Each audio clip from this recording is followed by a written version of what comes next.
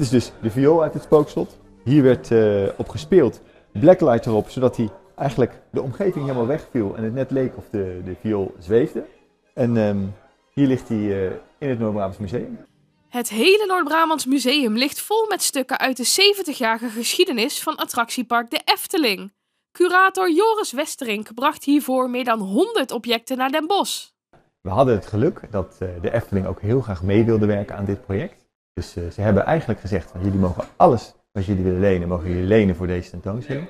Alle depots en archieven gingen voor me open. Nou, daar heb ik natuurlijk als een, uh, ja, als een, als een, als een klein jongetje in een snoepwinkel heb ik daar rondgelopen om, om al die spullen te zoeken. En daar heb ik deze tentoonstelling mee gemaakt.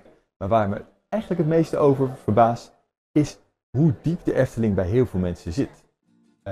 de liefde voor de Efteling die neemt soms best extreme vormen aan. Alleen als je kijkt naar de fans of, de bezoekers, er komen miljoenen bezoekers per jaar. Uh, als je kijkt naar de muziekuitvoeringen die er soms zijn in de Brabanthallen. Je zit het binnen een paar dagen uitverkocht, uh, souvenirs. En hoe extreem dat is, dat had ik niet verwacht. En dat vind ik ook heel bijzonder en ook heel mooi eigenlijk van het park.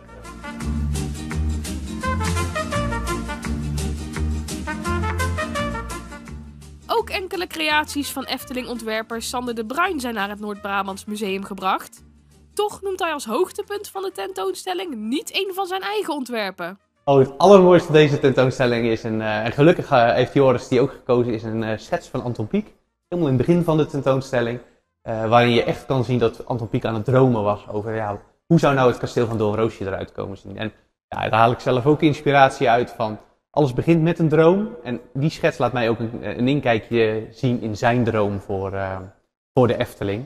Nou, ik ben heel trots dat, dat die ontwerptekening aanwezig is hier eh, in het Noord-Brabants Museum.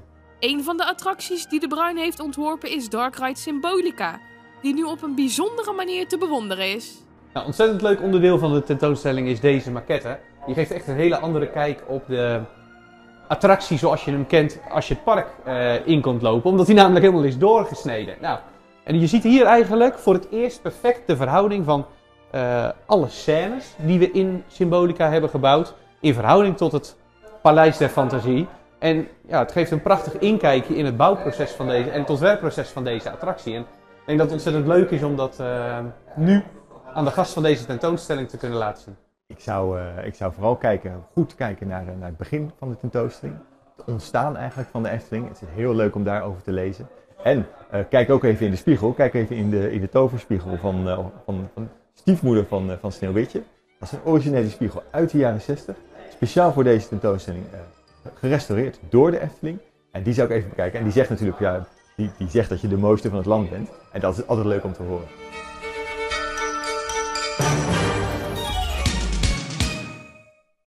Papa? Mm Amy zegt dat jij een dierenbul bent. Polder die gaat over een uh, varkensboer die uh, eigenlijk al een redelijk zwaar leven heeft. Heeft zijn vrouw verloren heeft natuurlijk de problemen die we tegenwoordig zien bij varkensboeren. En dan krijgt hij tot overmaat van ramp ook nog eens een dierenactivist op zijn nek. De nieuwste film van bossenschrijver en regisseur Klaas van Eikeren gaat over een varkensboer, strengere milieueisen en dierenactivisten.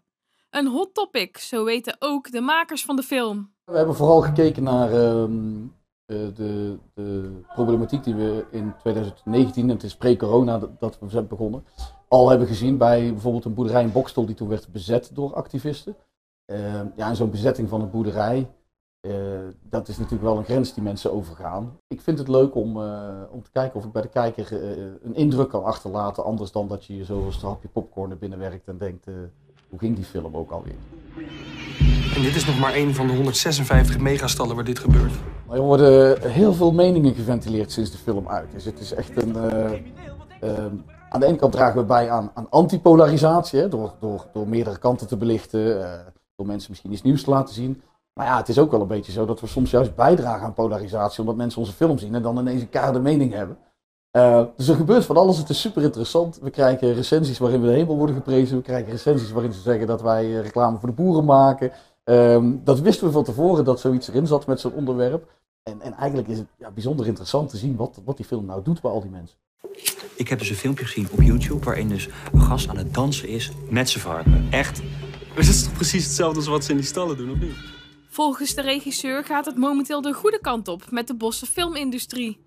Nou, het is wel een hele levende scene. Als je kijkt dat uh, de regisseur van de Tatas, hè, een hele uh, goedlopende film, Jamel Attash, uh, eigenlijk ook een bossenaar is.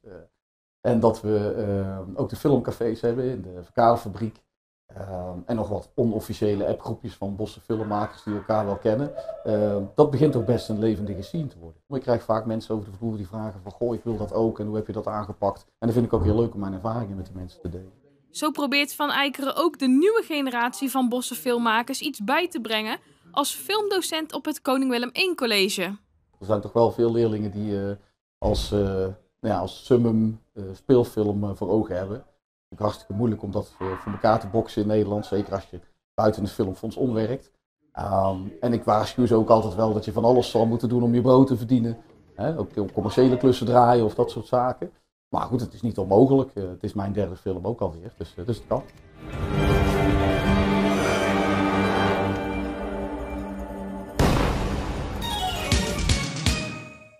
Het is een spannende dag voor Devenda Dijkstra. De dressuur-Amazone uit Nuland doet met haar paard Hero mee aan de Dutch Masters in de Brabanthallen. Ik heb er heel veel zin in. Al, uh, ik leef er al een paar weken naartoe, dus uh, hele gave wedstrijd om aan mee te doen. Dus dat is echt al een, uh, ja, een cadeautje eigenlijk dat ik hier mag meerijden. Het is zeker niet haar eerste professionele wedstrijd, maar helemaal gewend eraan is ze nog niet. Twee jaar geleden het U25 met hem gereden in het Europees kampioenschap meegedaan. Maar ja, zo'n wedstrijd als dit, dat is toch wel anders als een normale wedstrijd op een manege ergens. Dan is dit wel echt heel bijzonder. Haar coach rijdt zelf als dressuurruiter mee in dezelfde wedstrijd. Ja, ik ben er wel uh, klaar voor. Ja. Het is wel uh, spannend. Uh, mijn paard is nog niet zo gewend aan dit soort concoursen. Die moet dit echt nog leren. Dat merk ik ook de eerste twee dagen dat we hier zijn. Maar ik denk dat we thuis wel heel goed getraind hebben. En dat, ja, dat, dat we paard en ruiter zijn er klaar voor, ja. De Dutch Masters wordt ook wel het Wimbledon van de indoor paardensport genoemd. Ja, hier is alles luxe, hier is alles top voor elkaar, voor de ruiters, voor, voor de deel, alle deelnemers, alle mensen achter de schermen, maar ook uh, het publiek. De twee strijden niet alleen tegen elkaar, ze hebben ook een relatie en zijn verloofd. Eigenlijk maakt het niet zo heel veel uit. Uh, het is niet dat we elkaar als concurrenten zien. We hopen van elkaar dat we heel goed rijden.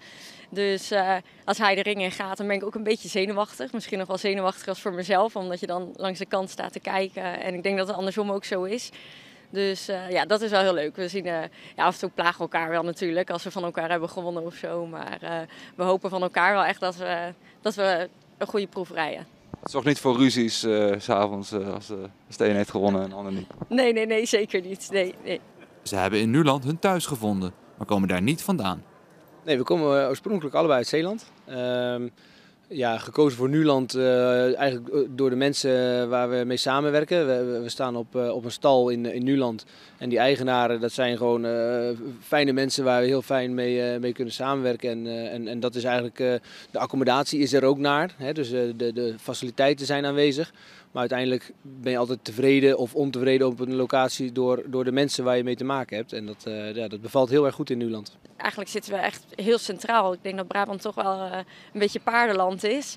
Dus uh, ja, veel wedstrijden zijn makkelijk aan te rijden. Alles is binnen een uur of nou ja, de laatste keer twee uur zijn. Maar we zijn natuurlijk eerst in Zeeland en dat mis ik in de zomer nog wel eens, het strand. Maar verder als je dan ja, op wedstrijd moet, dan moest je wel altijd ver rijden. Wie denk je dat er vandaag gaat winnen? Hij of jij? Ik hoop ik. Maar nee, ja, nee. Laurens die heeft ook een heel goed paard mee. Dus uh, de laatste twee keer heeft hij van mij gewonnen. Dus, uh. Het belangrijkste onderwerp tijdens, maar ook na het debat was natuurlijk de stikstof. Het stikstofslot op dit moment en alle gevolgen die dat met zich meebrengt. Want op het moment dat stikstof niet op de juiste hoeveelheid in onze provincie aanwezig is, betekent dat dat de biodiversiteit verdwijnt stikstof en daarmee onze gezondheid.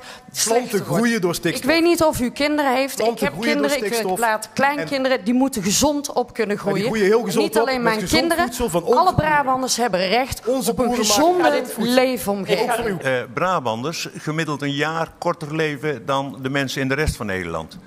Uh, dat de luchtkwaliteit in Brabant slechter is dan in veel delen van Nederland.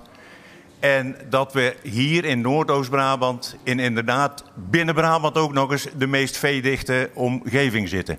Dat betekent dat we echt naar minder dieren zullen moeten. Dat wil niet zeggen minder boeren. En we hebben de uitdagingen. Maar met vingers wijzen naar één sector, dat werkt natuurlijk niet. Het werkt alleen als je met elkaar, met de industrie, met de intensieve veehouderij, met heel Brabant aan de slag gaat met het stikstofprobleem. En dat betekent dus samen met mensen en naast ondernemers staan. Nou, ik vond het wel opvallend dat uh, heel veel uh, partijen, coalitiepartijen, gingen roepen: we moeten van die stikstof, van dat stikstofslot af. Terwijl ze daar zelf hebben opgelegd. Dus ze hebben zelf een probleem gecreëerd. En dan gaan ze net doen alsof ja, het iets is waar ze uh, mee overvallen zijn. Nee, ze hebben het zelf veroorzaakt. Zij hebben die gekke stikstofmaatregelen allemaal doorgedramd. En nou doen alsof, het, alsof dat het probleem is waar, waar zij de verlosser voor zijn. Zij zijn de veroorzaker. We moeten wat doen aan het stikstofslot.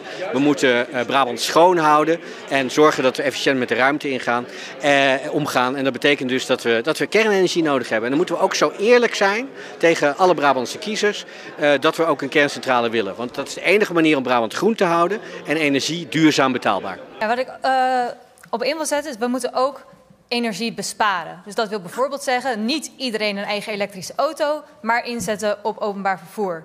Dit soort keuzes moeten we ook maken om ervoor te zorgen dat we niet steeds maar meer elektriciteit nodig hebben. En op die manier hebben we meer dan genoeg aan zonnepanelen en aan windmolens. Ja, en we hebben nog steeds, nog we hebben nog steeds innovatie nodig. En dan heb ik het over manieren om die energie op te slaan voor inderdaad die, die stabiliteit op het stroomnet. En dan kunnen we denken aan batterijen, we kunnen ook denken aan chemie, waterstof. Kijken hoe kunnen we die energie opslaan. Die windturbines die hakken en in de tussentijd inzetten op windmolens en zonnepanelen. Wil de Partij voor de Dieren windmolens die vogels fijn hakken. Dat is toch geen oplossing? Dat is juist slecht voor onze dieren, slecht voor onze natuur. Doe niet meer Ik ga het ook even naar meneer, naar meneer Dekkers. Ja, kijk, we hebben het hier nu de hele tijd over wanneer kan die er, het duurt lang, uh, uh, klimaatgekte hoor ik. Wat, wat ik een belangrijk punt vind als het gaat over kerncentrales, is dat we nog niet weten wat we doen over al die jaren als die kerncentrales van mijn vrienden hier uh, daadwerkelijk worden gebouwd in Brabant. Wat we doen met de rotzooi die achterblijft. Dus daarmee zeggen we ja. tegen mijn kinderen, mijn kleinkinderen, zeggen we succes, Weet, weet u hoeveel dat is? Mijn generatie, en dan kijk ik ook naar de heer Gremme en, en naar Nicky natuurlijk. Wij zijn de laatste die de klimaatcrisis echt kunnen aanpakken. Oh god. Dus wij moeten nu actie ondernemen. Ja, ja, nu meneer, investeren in kernenergie. Meneer Rutje snapt het niet, want meneer Rutje zit al twee generaties te boven. Maar mijn generatie is de laatste generatie die het kan keren.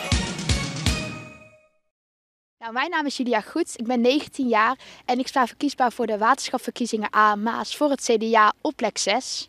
Ik ben Joop van Osso. Ik doe mee aan de waterschapsverkiezingen voor de A en Maas voor 50 plus en ik sta op de tweede plaats. Ik ben Judith Hendricks en ik doe mee met de waterschapsverkiezingen. Ik sta op plaats 4 van de partij Water Natuurlijk. Deze drie kandidaten bereiden zich voor op volgende week woensdag. Dan zijn ook de waterschapsverkiezingen. En iedere kandidaat heeft zo zijn eigen reden om mee te doen.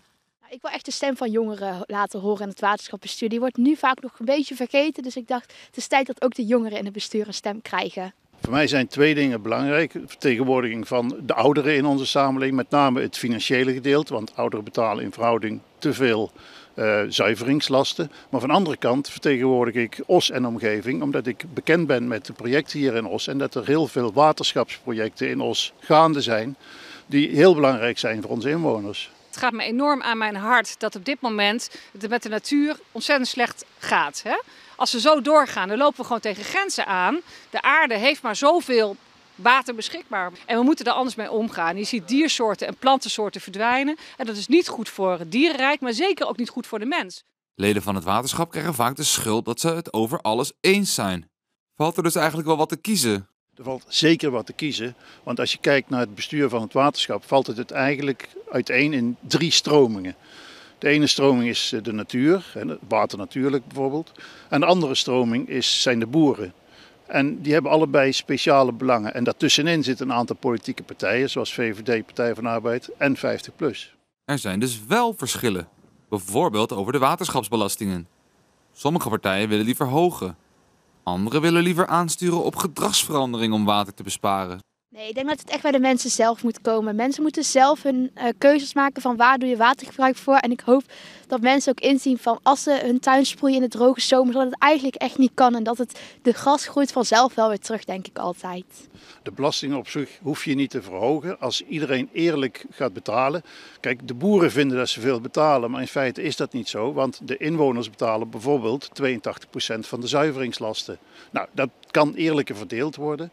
Ehm, daarnaast, ja, je hoeft op zich de belasting niet te verhogen, omdat er heel veel reserves zijn binnen het waterschap. En ja, we betalen in feite met z'n allen al heel veel geld. En ja, als je heel veel natuur wilt, moet je nog meer gaan betalen. Als je heel veel de boeren tegemoet wil komen, moet je ook meer betalen. Dus er moet een goede balans zijn. Water natuurlijk wel vooral eerlijker delen. Inwoners van de stad, we staan hier bij de Sint-Jan, betalen de meeste belasting. Boeren en bedrijven betalen gewoon minder. Dat vinden wij niet eerlijk. Want boeren en bedrijven gebruiken natuurlijk, uh, ja, hebben veel meer profijt van al het water wat ze gebruiken. Want daar verdienen ze geld mee. En wij vinden dat er eerlijker moet worden gedeeld. Dus belasting ook evenredig verdelen over iedereen die water gebruikt. En de, en de mensen die het meeste water gebruiken, boeren, bedrijven en andere grootverbruikers, moeten gewoon meer betalen voor het water. Want er is sprake van schaarste.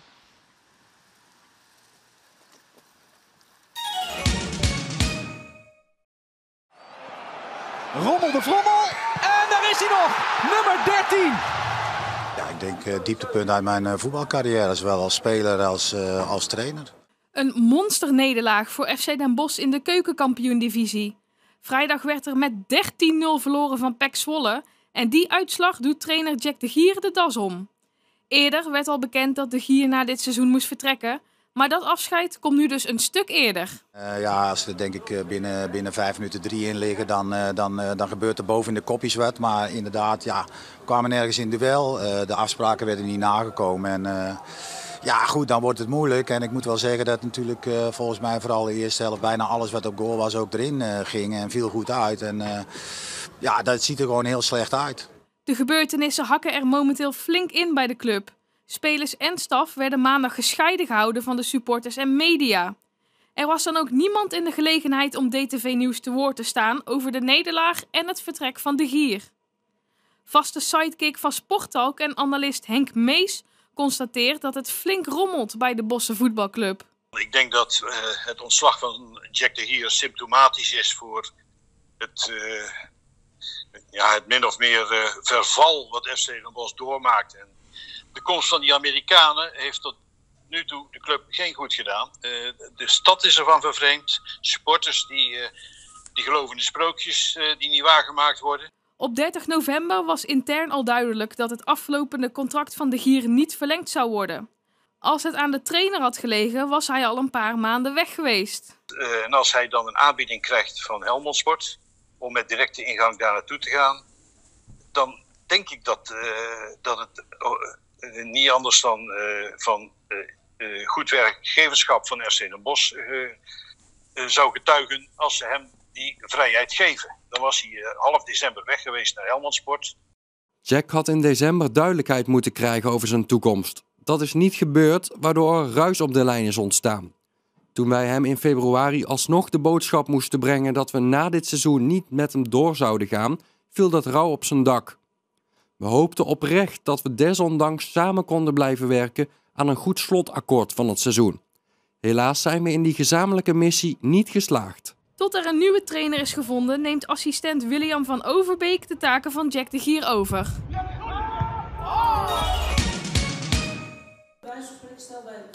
Om 8 uur ochtends zitten 50 vrouwen en een enkele man in een zaaltje in de verkadefabriek. In het kader van Internationale Vrouwendag bespreken zij hoe het gaat met de positie van de vrouw. Ja, super inspirerend. Ik vind het heel magisch om met zoveel mensen te zijn, samen te zijn met hetzelfde doel. Toch ook zoveel bijzonder met elkaar te delen om ook weer de kracht te ervaren die je toch als vrouw uh, hebt en verbindt. Ja, erg leuk, inspirerend. Fijn om met z'n allen bij elkaar te zijn. Erg leuk dat er ook een paar mannen waren, want dat vind ik heel belangrijk. Maar ook om het gezamenlijk met mannen te doen. Ik bedoel, we moeten allebei ontwikkelen, zowel mannen als vrouwen, om echt tot iets te komen, vind ik. Ja, waarom, waarom vind je dat zo belangrijk? Ja, omdat we denk ik met de vrouwen al met elkaar allemaal eens zijn. En het juist mooi is om dat gesprek met elkaar aan te gaan. Dus ook een beetje tegengas van elkaar te krijgen. Maar is Internationale Vrouwendag eigenlijk nog wel nodig? Mannen en vrouwen zijn toch al gelijk? Ik vind hetzelfde als bij de LHBT-rechten. Bij het homohuwelijk dachten we, hè, we zijn er. Uh, en vrouwen dachten volgens mij ook al, uh, we zijn er. Maar het, het, gaat allemaal weer achteruit. Dus we, we, moeten blijkbaar toch weer aanwezig zijn, toch weer deze Vrouwendag vieren en toch van onszelf laten horen. Ik denk vrouwen dat die nog wat achtergesteld worden. En ik denk queer vrouwen, ja, die hebben een, soms een dubbele handicap. Hè, dubbel last van uh, discriminatie en rare opmerkingen. Dus, uh, en daar is nergens voor nodig. Jolande van Gol maakt samen met Anja van Hout tijdens de Internationale Vrouwendag een podcast over queervrouwen. Zij zijn vaak extra kwetsbaar in de maatschappij. Nou ja, juist bij queer vrouwen zie je dat, dat, ehm, dat er vaak sprake is van een soort van dubbele achterstand. Hè. Vrouwen hebben al ehm, eh, in de maatschappij vaak, een, va- vaak toch net even wat moeilijker dan mannen om hè, de gelijke positie te veroveren. We hebben het vaak over eh, minder inkomen, ehm, hè, dus, dus, dus eh, ongelijkheid bij, bij, bij betaling van, de- van hetzelfde werk. En als queer vrouw heb je nog weer net een extra stapje extra te zetten. Dus we, het leek ons heel goed om juist vandaag dan stil te staan in onze podcast bij de positie van queer vrouwen. Waarom het voor hun belangrijk is om Internationale Vrouwendag te vieren.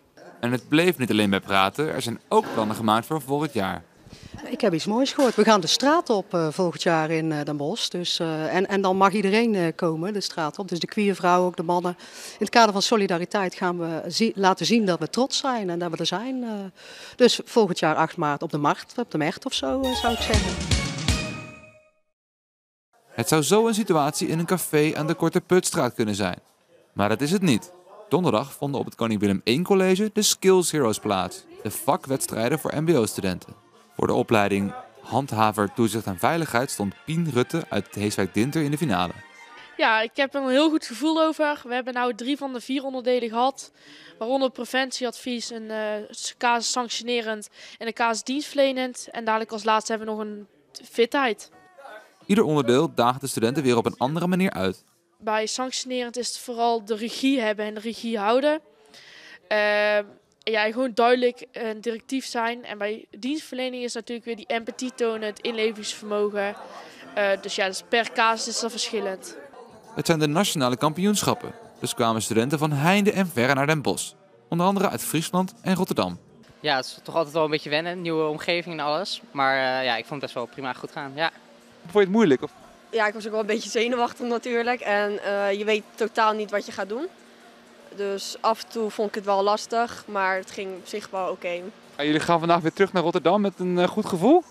ja, ik denk absoluut. We hebben veel geoefend, dus nou ja, en we hebben ons best gedaan. Daar komt het een beetje op neer.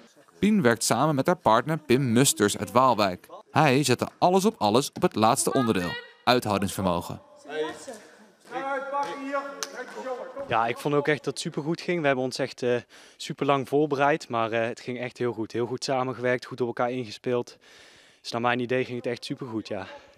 Jullie hebben het zo goed gedaan. Jullie, jullie maken misschien wel kans op de eerste plaats. Hoe eh, zie jij dat in? Nou ja, dat zou natu- natuurlijk super mooi zijn. Het is een beetje moeilijk om in te schatten hoe goed we het hebben gedaan met het niveau van de rest. Want wij kunnen natuurlijk niet zien hoe de rest het doet. Maar voor mijn gevoel ging het echt supergoed. Dus daar ben ik heel blij mee.